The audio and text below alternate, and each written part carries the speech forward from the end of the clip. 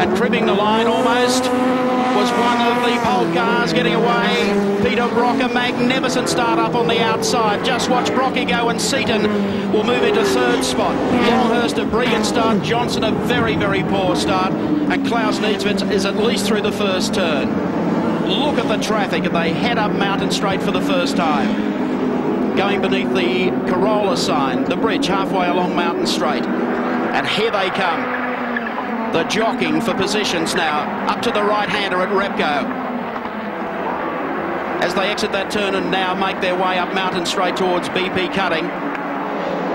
Percy going through, Crompton going through, Niedzwiedz in front, Brock second, Seton, then followed by Longhurst, then the second of the ANZ cars. George Fury, a great start, and Colin Bond just ahead of the two uh, V8 Commodores. The exit from BP now to the top. And Jim Richards already up there trying to pass some cars in the Nissan GTR. Across now to the top of the mountain. Heading down towards Skyline. No incidents. Look at the lead so far as Niedzwiedz blitzes them through there. Brock in second. Seton is your next driver, followed by Longhurst. Then, of course, Greg Hansford and moving up smartly, also the second of the Dick Johnson car. So we've had a great start. We have. This was made in heaven for Klaus Niedzwiedz, but poor Dick Johnson. I think uh, I don't think he gave it enough revs at the start. The car bogged down, and he almost got hit from behind. Exactly. And Peter Brock was away very, very smartly. Come down to Forest Elbow for the first time. The wide open spaces of Conrod Straight. The exit from that turn, the Nissan still sitting in there behind Brancatelli, runs back behind the second Johnson car. So an incident-free first lap. And as you said, Klaus Niedzwiedz at this stage of the race heading down to the right-hander at Caltex Chase. A comfortable lead over Peter Brock. Great shot there of the speed and the approach shot. Also the right-hander. Just watch them jockeying for positions as they go into the right-hander at Caltex.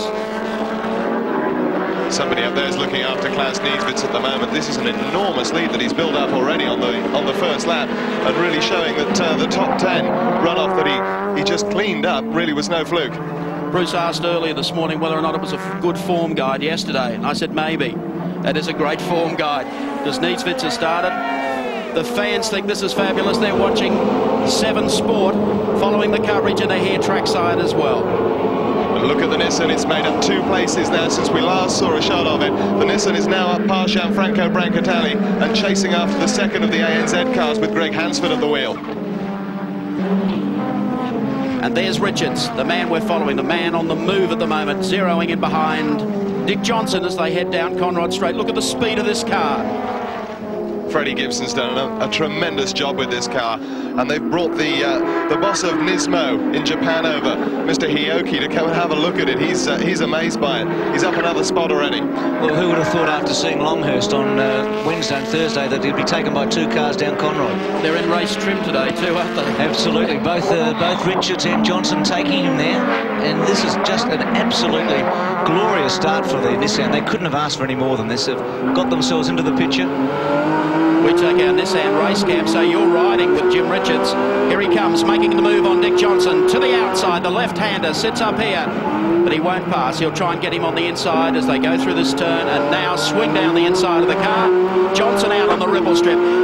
It's Richards now grabbing another gear. Let's have a look at the horsepower. Hasn't got any horsepower. 600 brake, they claim, and Johnson gets the blow-by from Jimmy Richards. Richards now storming towards the leaders. The Nissan has just gone by Peter Brock in the Mobil 1 Sierra 05.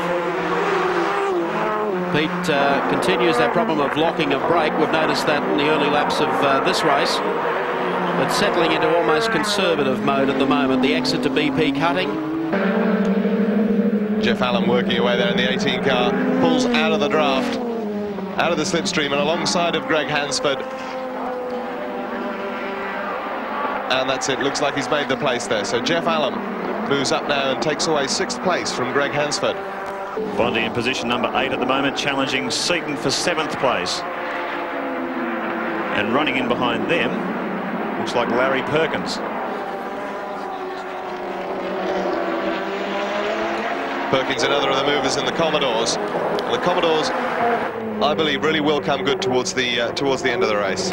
Look at this fantastic view that we're bringing you our race cam team with the special camera silhouette cam, we like to call it, as we hang it out the side of uh, the Colin Bond Caltex Sierra. He's chasing uh, Glenn Seton at the moment, putting a lot of pressure on Glenn Seton as they go across the top of the mountain. You'll see a great view here as they come up to Skyline on the concrete wall. How close would you like it? Drifting out here. Watch the movement of the front wheels. Now tucking into the left-hander. Seton gives the Sierra a dab of the brakes. At the moment, though, Jim has spread eagle the field. He's opened the gap up to 32 and a half seconds. And no matter which way you look at it, that is a huge lead. Jimmy Richards, you're not hogging this race, are you? Well, Mike, we've, uh, we've got to do a few brake stops, so we've got to make a little bit of a buffer so that when we come in, we can keep the time on the track open. So Dick Johnson has two cars in the top five.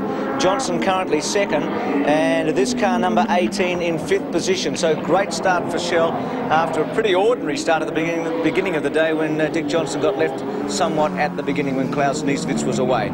So the number 18 car.